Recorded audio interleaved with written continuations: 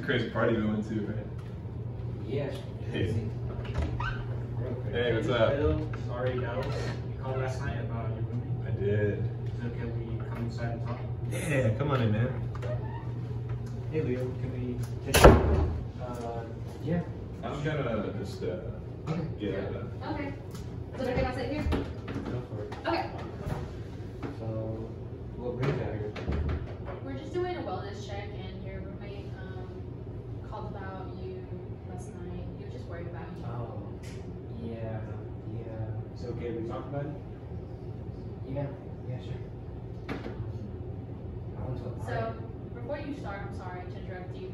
Uh, I have to let you know that we are uh, mandated reporters, and so we do have to report this for to Title IX. So Oh. anything you say will be reported, but only be reported up. Um, We so- also have to let UPD know too.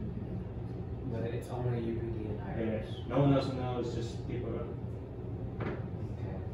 Well, last night I went to one of the college parties right here close to town, and I met up with this girl, and we hit it off real well. It was really amazing, but it went a little quicker than I wanted it to, and I just did not want to go any further. And I don't know. I felt like it was a blur right after that, and then last thing I knew, I woke up in someone's random apartment.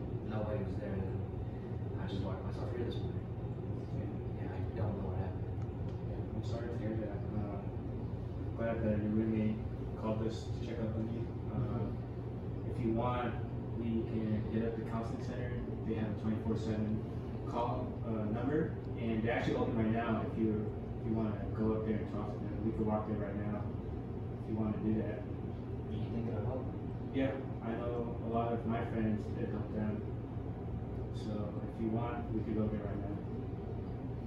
Alright.